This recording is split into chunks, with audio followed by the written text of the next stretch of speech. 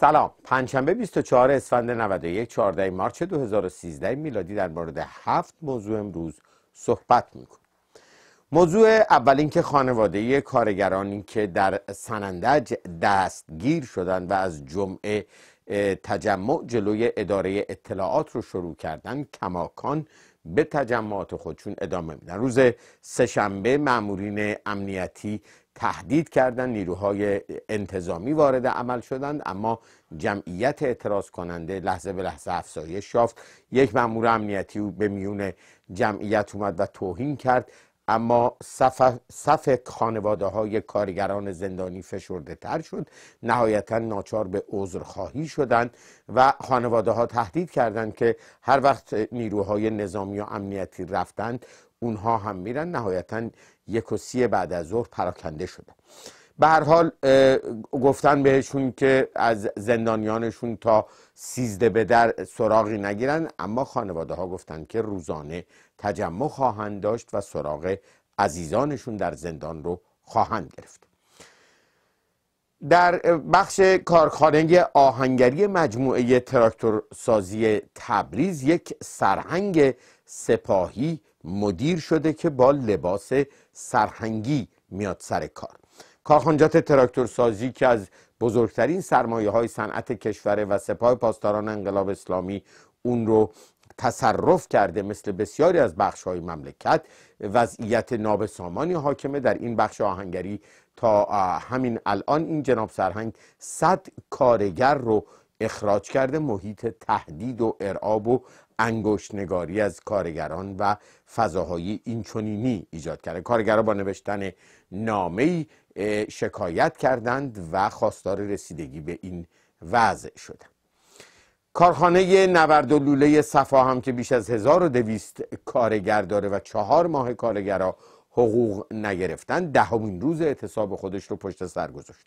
قرار بود تا سهشنبه آخر وقت دو ماه حقوق معوق پرداخت بشه که کارفرما یک ماه رو تونست تامین کنه کارگرها اعلام کردند که به اعتصاب خودشون ادامه خواهند داد.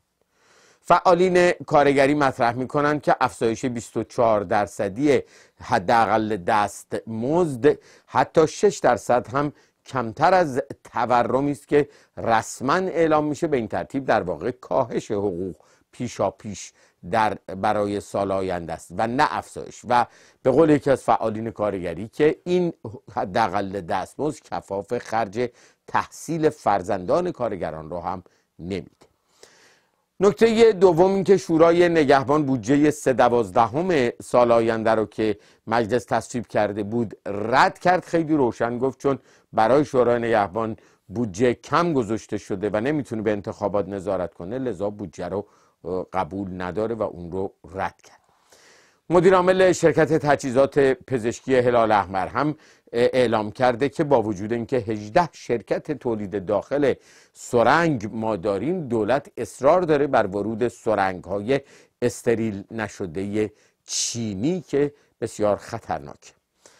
مطالبات معوق بانک ها تا پایان سال 91 هم اعلام شد که از مرز 80 هزار میلیارد تومان رد شده که رکورد تاریخی است و 16 برابر سال 84 است که دولت احمدی نژاد سر کار اومد. در واقع به زبان دیگه حکومت و اعوان و انصارش موجودی پول بانک ها رو چپاول کردن و بزرگترین دزدی تاریخ اتفاق افتاده.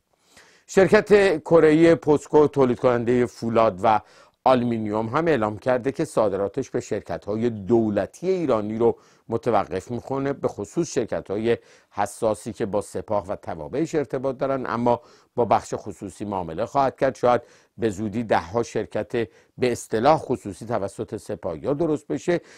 روسیه هم اعلام کرده که همین کار رو می‌خواد انجام بده.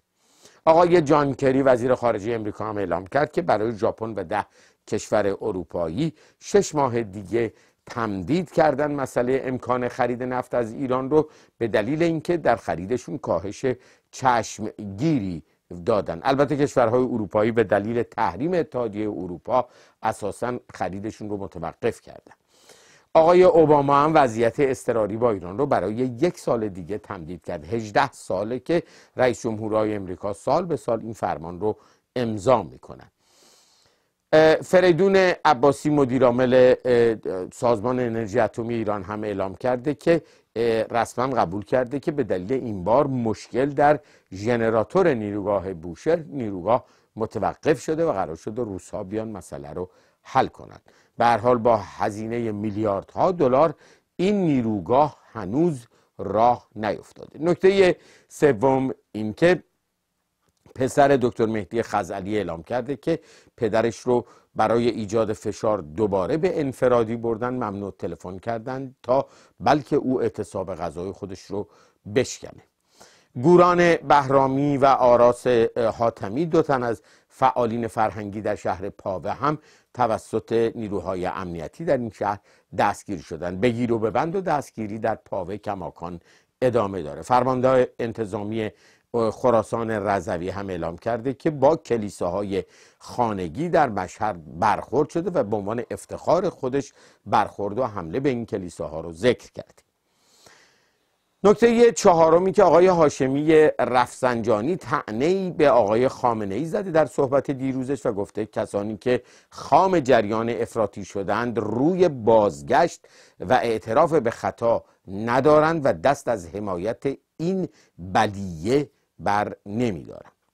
آقای محسن رضایی هم اساعه ادبی به موسوی و کروبی کرده و نشون داده که یکی از خنگترین سیاستمداران کشور ماست برای اینکه الان در فصل جلب نظر مردم برای رأیگیری تا افراطی ترین جناهای راست هم افتادن به حوار اینکه بلکه یک جوری حرفای دو پهلو می‌زنن که دل طرفداران موسوی و کروبی رو که اکثریت هستند به دست بیارن.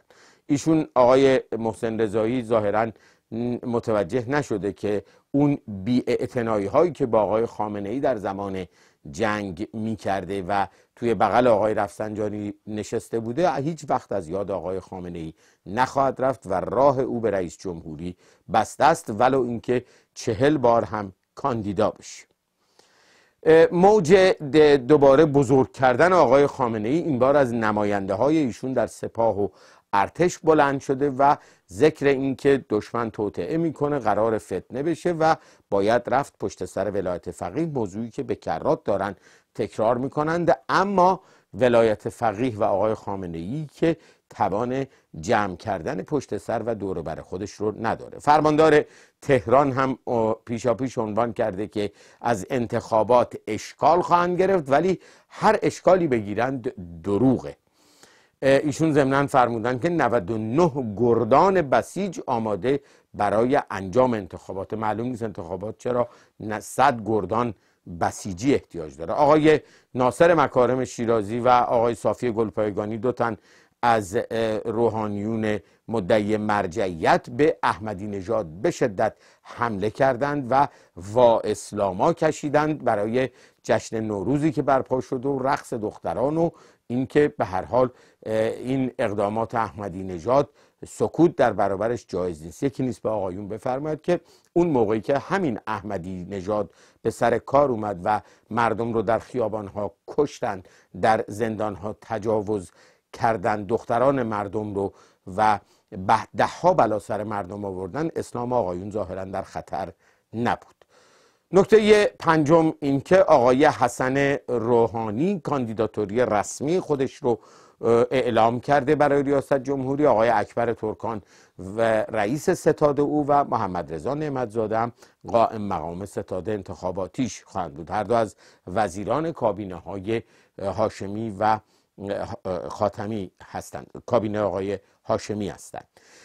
آقای محمد رضا با هنر هم در مشهد کاندیداتوری خودش رو اعلام کرده و هنوز معلوم نیست که رسما آقای با هنر کاندیدای حزب معتلفه و جناح بازار سنتی است یا منفردن به میدان آمده. علی متحری هم صحبت کرده و گفته اگر نگذارند اصلاح طلبان بیان اون وقت انتخابات بیش از پیش فرمایشی و بیرونق خواهد بود. نکته ششم اینکه درگیری در هومز کماکان ادامه داره و یونیسف اختار کرده که کودکان سوری در وضعیت بسیار خطرناکی قرار دارند روزنامه واشنگتن پست هم خبر داده از اینکه روابط ایران با القاعده بر سر سوریه به هم خورده و اخراج سلیمان ابوقیس داماد بن لادن شروع شدت گرفتن تنش ها بوده سه عضو القاعده را ارتش ایران اعلام کرده در مرز توقیف کرده. و اما نکته آخر اینکه رئیس کل